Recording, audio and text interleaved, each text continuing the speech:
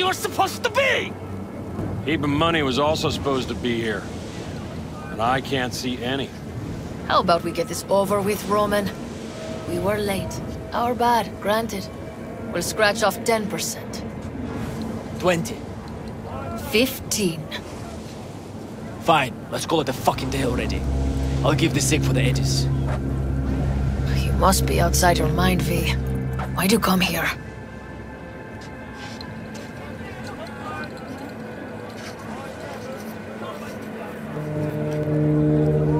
Bumped into your man outside. Said it was taking too long, so I figured I'd take a look. Save as you're patronizing, V. We knew the risk, but We really need this money. Like, badly. Hush up now! You can conversate all you want later.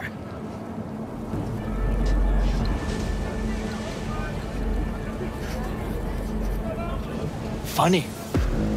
Didn't like your ugly skin plate from the get-go. Now I know why. You're the one who flushed us out in Watson. Sandra Dorsett. Thought we'd forget, huh? We're done here. If I were you, I'd think real hard about your next move. Because you're right. I was the one who took out your chooms in Watson. Shot them all like fish in a barrel. So why do you think this will play out any different? Because you got us surrounded? Take a look at me. A real good one. You see my implants? I could slice you into ribbons before you could squeeze a trigger.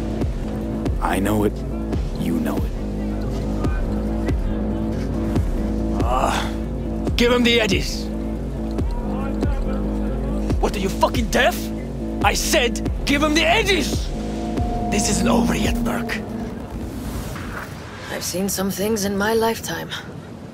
But hearing you back there sent chills down my spine. Literally. Thanks, V. Hell, that sure was something. You whooped their asses real good.